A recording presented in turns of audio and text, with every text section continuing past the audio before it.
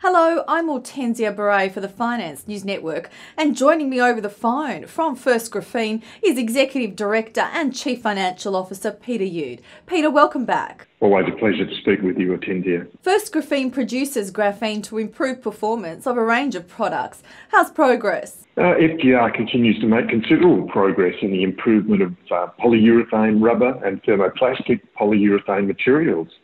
Uh, the mechanical improvements include enhanced tensile strength and tear resistance, together with superior levels of abrasion resistance. We focused on these materials as it provides an early opportunity to sell tonnage volumes of our PureGraph range of graphene additives. And as previously advised, we already have sales in the mining industry and the safety footwear markets. Now to your first half results for the year. What were the highlights? Well, as identified in the director's report, the signing of a 3,000 kilogram supply agreement with newGen and production of the world's first graphene enhanced safety boot were two highlights. These are positive results in real world applications and they highlight FGR's position as the world's leading supplier of premium graphene products, which are available in tonnage quantities. At the GEIC in Manchester, we continue to make effective use of our presence as a Tier 1 partner, where we routinely host customer visits. We've also negotiated a worldwide exclusive licence with the university for high capacitance materials, which are suitable for supercapacitor applications. Furthermore, we increased sales revenue in the half and finished the half with a strong balance sheet. And Peter, First Graphene supplies a product called PureGraph. Can you remind us about its characteristics and where it's finding applications? Well, for characteristics, PureGraph has three nominal platelet sizes being 5, 10 and 20 micron and with between 3 to 7 layers. The products are characterised by their large platelet size, a high aspect ratio and low defect levels. The high aspect ratio is what provides the mechanical strength we witness in our customer applications. A detailed product sheet available on our website, and we continue to publish data that underlines the outstanding quality of our graphene products. The powders are readily dispersed in a range of solvent and polymer material, and the batch to batch consistency is ensured through our leading edge quality control testing. With regards to applications, as I said previously, we've paid attention to those markets in which tonnage volumes of graphene would be required. So this has included hot cast PU wear linings for the mining market, TPUs for both the mining and safety boot markets. In these areas, we see improvements of 40% in tear strength and anywhere between 100 to 500% in abrasion resistance in items such as pipe spool applications. We are now starting to work on the incorporation of graphene into traditional rubber formulations. And Peter, could you comment on the addressable market? Yeah, well, the Graphene Council estimates that 40% of the industrial applications for graphene will be in composites.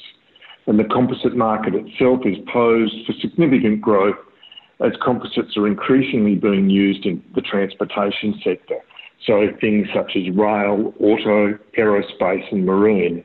And this is for lightweighting to reduce the use of metals for both reduction in weight and to avoid corrosion issues. Thermoplastics, or TPUs, represent the majority of the polymers produced today, and in Europe, that accounts for greater than 80% of the polymer production. And this is one of the markets on which we are focused. Other markets include graphene in supercapacitors, which the Graphene Council has forecast as a significant growth area. Our license agreement with the University of Manchester enables us to manufacture exciting new materials for this energy storage market. Could you provide an update on the science taking place to extend the use of graphene? Yeah, the development of high capacitance materials for supercapacitor applications under an exclusive license with the University of Manchester is progressing well. Um, we have a UK supported postdoctoral researcher in the post, and he has successfully transferred the chemical process to the FGR laboratory at the GEIC. Um, a further progress report on this project will be provided during Q1 in 2020 when early stage kilogram scale up of these novel materials will be completed. And at 2D Fluidics, um, we're developing a more benign approach for the synthesis of graphene oxide. The objectives of the 2D Fluidics approach is to manufacture a well-defined graphene oxide materials without the excessive quantities of acidic waste which is produced by the existing Hummers method. Target applications for these GO materials include water filtration and energy storage. Last question, Peter. Is there anything else you'd like to add? Yeah, graphene's a, a nascent industry and FGR is at the forefront of its development. We remain the only entity with regulatory approval to sell graphene in the UK, Europe, and Australia. As a result, we have a first mover benefit in developing a sales pipeline. Our sales book is developing well and will continue to grow as further applications are developed. FGR is the only manufacturer of high-performing, high-quality graphene nanoplatelets available at industrial scale, and we can supply volume quantities of graphene today and have the capability to scale up our manufacturing output to support large users and OEMs who will require a consistent and reliable supplier of graphene in the years ahead.